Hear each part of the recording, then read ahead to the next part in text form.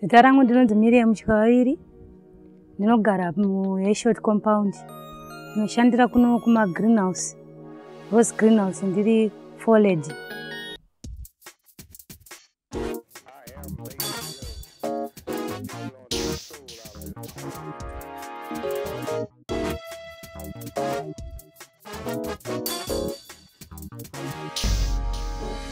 panapa panoshandwa basa remaruva zvakanyanya ndingangoti ndo ndo production yakanyanya kukurisisa pano tichikompeya kufamu saka ndo zvinonyanya kupa zvinonyanya kupa mari pakambani iri panapa.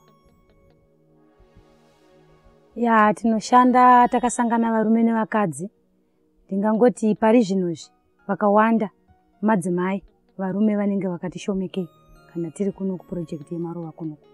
Kunyanyanyanya mumabasa matinoshandira mune inonzi sexual harassment kumanikidzwa kwemadzimai kupinda mune zverudo. Touya inonzi intimidation ku, ku intimidation inova kupiwa zita lesei kana kuti nikinemu yausingade zvinozokonzesera kuti vanhu vanozopedzesera vaakurwa. Zvinowanika futi mumabasa matinoshandira e, ndine kesi yandikambonzwa nezvayo last year pavanhu pavaishanda kupisi kuna gadhi akazosvika pakubata magaro emukadzi womunhu.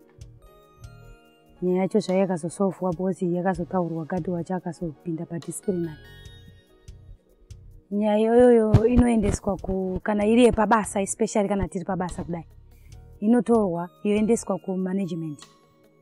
Vese inotorwa yotanga yaendeswa kuekas committee then yozoendeswa kumanagement then pooneswa potoitwa disciplinary action against munhu anenge aita izvozvo kumunhu wechikadzi. Ndokunge apa ripoti kuti ndo zvandaitwa ya tine polisi zetrp zimbabwe republic police.